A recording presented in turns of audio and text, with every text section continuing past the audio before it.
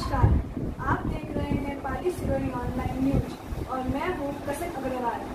आइए बढ़ते हैं खबरों की ओर। इन खबरों के अलावा सभी खबरें पढ़ने के लिए मोबाइल के प्ले स्टोर पर जाकर डाउनलोड करें पाली सिरोही ऑनलाइन ऐप सिरोही खरियावत सिगवंज निवासी रवि कुमार पुत्र ताराराम ने बनारस में फंदा लगाकर आत्महत्या कर ली बिना किसी पुलिस कार्रवाई के उसके साथी युवक का शव सिगवंज लेकर पहुँचे इस पर परिजनों ने शव लेने से इनकार करते हुए हंगामा कर दिया मामले की जानकारी मिलते ही पूर्व विधायक संयम लोढ़ा ने सिरोही एसपी से बातचीत कर कानूनी कार्रवाई करने का आग्रह किया पाली सिरोही ऑनलाइन हर खबर आपको पहुँचा रहा है सबसे पहले। जवाई बाँध का गेज हो या बारिश की खबर, क्षेत्र में हत्या हो या आत्महत्या और सामाजिक कार्यक्रम। सबसे पहले पाली सिरोही ऑनलाइन पर दिखती है खबर।